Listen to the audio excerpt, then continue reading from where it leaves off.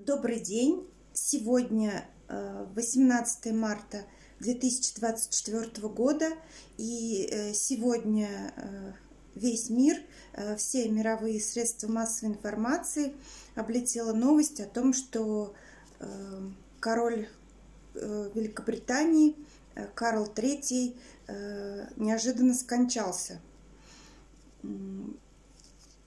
Было опубликовано сообщение на бланке э, э, дома Винзоров. Ну, дословно я озвучу перевод. Король неожиданно уехал вчера после полудня, 18 марта 2024 года. Не говорится, куда он уехал, в каком направлении. Неожиданно уехал сейчас э, все э, мировые СМИ э, публикуют опровержение, что якобы король Карл на месте и прекрасно себя чувствует. Но, но, как говорится, дыма без огня не бывает. Ну, нам всем известно, что король Карл болен, что у него была обнаружена онкология. Э, так вот, э, значит, напомню, что в январе 2024 э, года в средствах массовой информации появилось значит, сообщение, что король Карл готов и собирается передать трон своему старшему сыну Уильяму. И спустя какое-то короткое время, э, именно тоже в январе 2024 года, появилась а, новость о том, что у принцессы Кейт э, состоялась якобы плановая операция на брюшной полости. И с тех пор э, Кейт в информационном пространстве до сих пор не появилась. То есть прошло уже два месяца, и о ней больше ничего не слышно когда появилась э, информация о том, что король Карл III болен, э, сразу э, значит, Букингемский дворец стал разрабатывать план на случай похорон короля. И этот план называется Минайский мост.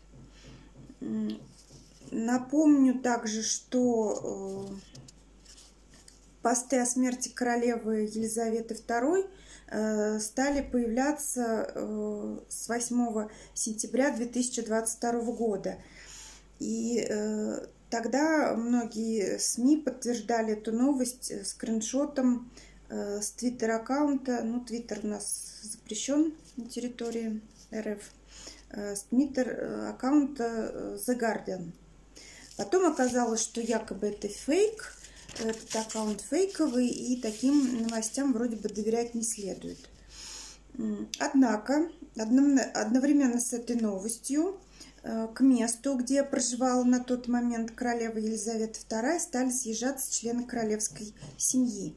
А спустя уже несколько часов э, после информации э, якобы фейковой, а информация подтвердилась официально. Елизавета II скончалась. Ну, что из себя представляет план мост Минай? Этот план назван в честь подвесного моста через пролив Минай, э, соединяющего остров Англси с территорией Уэльса. Э, по плану э, первым о смерти короля узнает премьер-министр и другие члены кабинета. Затем эту новость в прямом эфире сообщают на телеканале BBC. И э, планируется, что после э, королем будет провозглашен принц Уильям. Так вот, э, в чем вся как бы, пикантность этой ситуации, что незадолго до этого, согласно британским источникам, производственный отдел BBC Evans был уведомлен о необходимости следить за важным заявлением от королевской семьи в связи э, якобы с проблемами со здоровьем Карла III. Но, кстати, в отличие от Кейт, э, короля Карла III все могли лицезреть, наблюдать. Он появлялся перед публикой, как бы его состоянию здоровья ничто не предвещало. Ну, кто-то связывает такую секретность с возможностью утечки информации – Э, что якобы эту информацию держит в секрете от младшего сына короля Гарри, э, который все может э, рассказать прессе.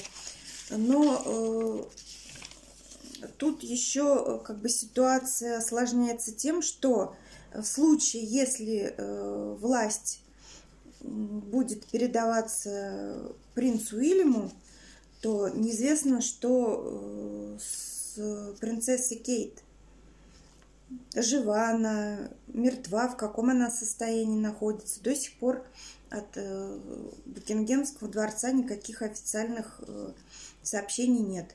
Была опубликована какая-то фотография, но и она была признана фейковой, потому что ну уж совсем э, гру грубая подделка. И получается, что преемник первый в очереди Уильям не может вступить на престол, поскольку его супруга находится в не